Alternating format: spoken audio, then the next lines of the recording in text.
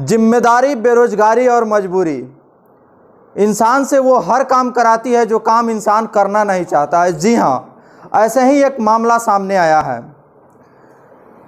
एक ऐसी महिला जो अपने बीमार पति, दो बेटी और एक बेटे के पालन और पोषण के लिए यह महिला एक ऐसा निर्णय लेती है जो आश्चर्यजनक निर्णय है। और महिला जबकि खुद गर्भवती होती है।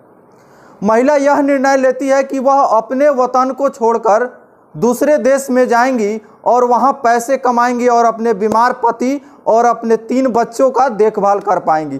लेकिन जी, जैसे ही वो विदेश जाती है और वहाँ जाने के बाद उन्हें पता चलता है कि ज़िंदगी के तलाश में हम मौत के कितने पास आ गए। जी हाँ आइए आपको हम आगे सब खुलासा करते हैं। मेरा नाम गोल्डन अनिकेत और आप देख रहे हैं फाइनल पोस्ट।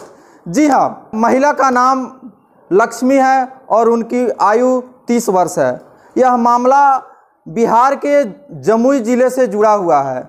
बिहार के मुख्यमंत्री नीतीश कुमार जी हैं और जमुई के सांसद चिराग पासवान जी हैं। जी हाँ मैं इन दोनों का नाम इसलिए लिया हूँ कि अगर बिहार में नीतीश कुमार जी रोज़गार की अगर अच्छी व्यवस्था किए रहते तो उस गर्भवती महिला को विदेश नहीं जाना पड़ता।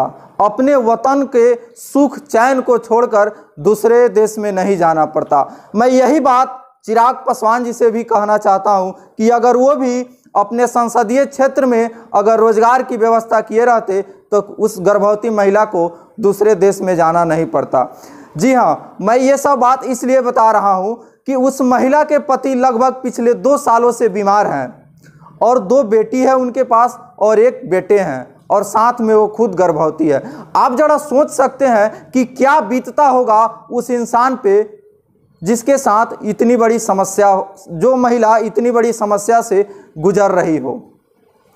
महिला अपने रोज़गार के तलाश में इधर उधर भटक रही थी। इसी भटकने के अंतराल में उन्हें दिल्ली के पहाड़गंज में वसीम अख्तर नाम के एक पुरुष और एक महिला सन्नो सैयद से उनकी वीडियो कॉन्फ्रेंसिंग के माध्यम से गर्भवती महिला लक्ष्मी का इंटरव्यू किया जाता है और उन्हें फिर दिल्ली बुला लिया जाता है। दिल्ली बुलाने के बाद उनसे कहा जाता है कि आपको ओमान जाना पड़ेगा मस्कट में और वहाँ आपको अच्छी तनख्वाह मिलेगी जिससे अपना परिवार आप अच्छे से चला सकते हैं।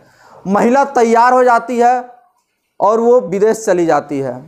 जाने के बाद वहाँ उन्हें, उनका महिला का मोबाइल जब्त कर लिया जाता है और हालाँकि महिला का स्वास्थ्य भी बिगड़ता है धीरे धीरे क्योंकि महिला तीन माह की गर्भवती रहती है।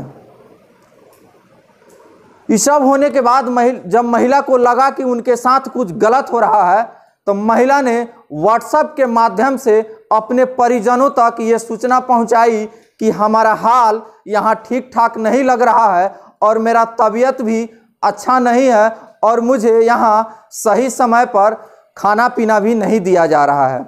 ये सब बातों को जानकर महिला के परिजन काफ़ी परेशान और हैरान हुए। इस मामलों को लेकर महिला के परिजनों ने जब छानबीन की और वहीं दिल्ली में पहाड़गंज थाने में एफआईआर दर्ज कराई।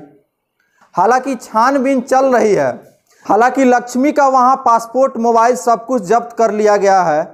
लेकिन मैं बिहार सरकार से ये कहना चाहता हूँ, या वहाँ के जमुई के सांसद चिराग पासवान से ये कहना चाहता हूँ कि वो लोग इस मामले में हस्तक्षेप करें और जल्द से जल्द गर्भवती महिला को वापस बुलाने का कार्य करें। नमस्कार, आप देखते रहिए फाइनल पोस्ट। बहुत बहुत धन्यवाद।